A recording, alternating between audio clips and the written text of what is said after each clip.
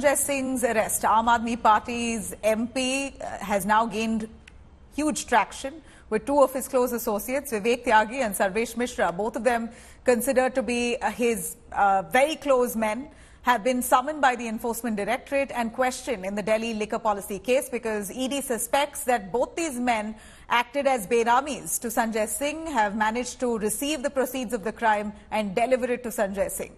Meanwhile, a political slugfest continues to rage as BJP and the Aam Aadmi Party now at loggerheads, with AAP calling it a political witch hunt, BJP calling this the rule of law. Take a look.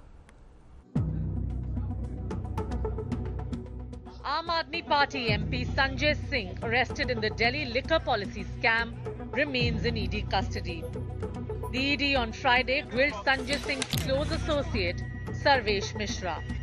The agency has issued summons to another close aide of the AAP MP, Vivek Tyagi.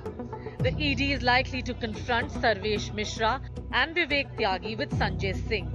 As per ED sources, Sarvesh had received 1 crore rupees on behalf of Sanjay Singh. Both Sarvesh Mishra and Vivek Tyagi were raided by ED few months ago. On Thursday, while arguing for Sanjay Singh's custody, the ED told a Delhi court it has proof that the AAP MP was part of the Liquorgate conspiracy and that he collected kickbacks. The agency claims Sanjay Singh had close ties with accused turned approver Dinesh Arora. ED said Sanjay Singh allegedly received 2 crore rupees proceeds of crime in two installments. The money was allegedly delivered at Sanjay Singh's residence. AAP has called Sanjay Singh's arrest vindictive politics by the BJP. जिस प्रकार से मंत्री उप मुख्यमंत्री और नेता संसदीय दल उत्तरोत्तर भ्रष्टाचार में आरोपित होते चले जा रहे हैं।